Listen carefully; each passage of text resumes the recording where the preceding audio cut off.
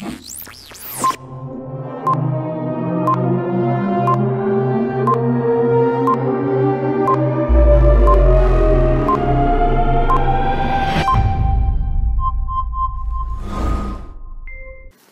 are listening to KZET Cornerstone Online Live.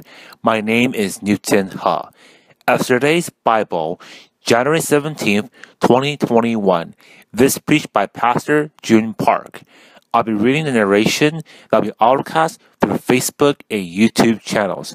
Becoming partakers of God's divine nature, 2 Peter chapter 1, verse 3 through 11. His divine power has given us everything we need for a godly life through our knowledge of Him who called us by His own glory and goodness.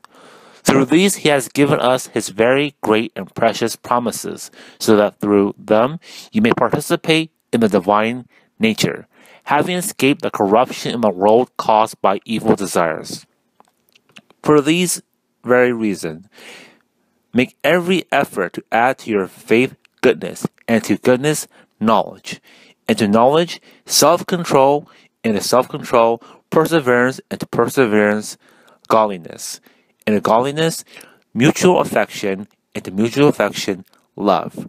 For if you possess these qualities in increasing measure, they will keep you from being ineffective and unproductive in your knowledge of your of our Lord Jesus Christ.